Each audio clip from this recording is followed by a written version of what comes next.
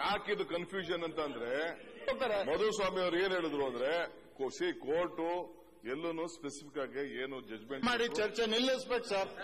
ತಾವು ರೂಲಿಂಗ್ ಕೊಟ್ಟಾಗಿದೆ ಮಾಧುಸ್ವಾಮಿ ಅವರು ಹೇಳಿದ ವಿಚಾರ ನಮಗೆಲ್ಲರಿಗೂ ಗೊತ್ತಿರತಕ್ಕಂಥದ್ದು. ಕ್ರಿಯಾಲೋಪದ ವಿಚಾರದಲ್ಲಿ ಚೇರ್ನಿಂದ ರೂಲಿಂಗ್ ಕೊಟ್ಟ ಮೇಲೆ ಅದರ ಮೇಲೆ ಚರ್ಚೆ ಮಾಡ್ತಕ್ಕಂಥದ್ದು.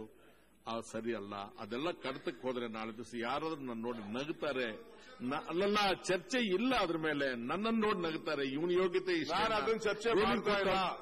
The confusion what is is ಏನು ಈಗ? ಸುಪ್ರೀಂ ಕೋರ್ಟ್ ಅಲ್ಲ ಅವರು ವಿಷಯ ಮಂಡನೆ ಮಾಡಿದ್ದಾರೆ. ಅದ್ರ ಮೇಲೆ ಚರ್ಚೆ ಮುಂದುವರಿಸೋಣ.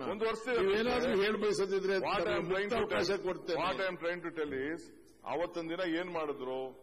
ನಾನು ಪಾಪ ಇದು ಯಡಿಯೂರಪ್ಪನವ್ರು ಏನೋ ಒಂದು ಹೇಳೋದು ನಾನು ತಕ್ಷಣ ಅದೇ ಇಲ್ಲ ನಾನು withdrawing on the whip issue ಅಂತ ಹೇಳಿದ್ರು. ಅಲ್ಲಿ ಮ್ಯಾಟರ್ ಇಸ್ ಬಿನ್ ಸೆಟಲ್ಡ್ ಅಲ್ಲಿ ಮಧ್ಯೆ ಏನಾಯ್ತು ಅವ್ರಿಗೆ ಯಾಕೆ ನಮ್ಮವ್ರಿಗೆಲ್ಲ ಇಷ್ಟು ಕನ್ಫ್ಯೂಷನ್ ಅಂತಂದ್ರೆ ಮಧುಸ್ವಾಮಿ ಅವರು ಏನ್ ಹೇಳಿದ್ರು ಲಾಸ್ಟ್ ಅಲ್ಲಿ the same court which has help us to sit there is helping us ಅನ್ನೋ ಒಂದು ಮಾತು ಹೇಳಿದ್ರು.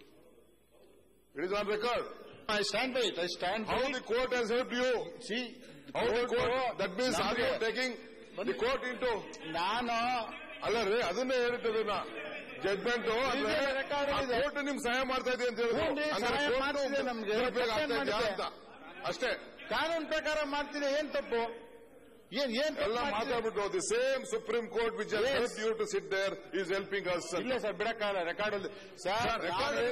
ನಾನು ಹೇಳಿರೋದು we are in majority we are in majority in majority. In giving a You are misusing majority majority. ನಮ್ಮ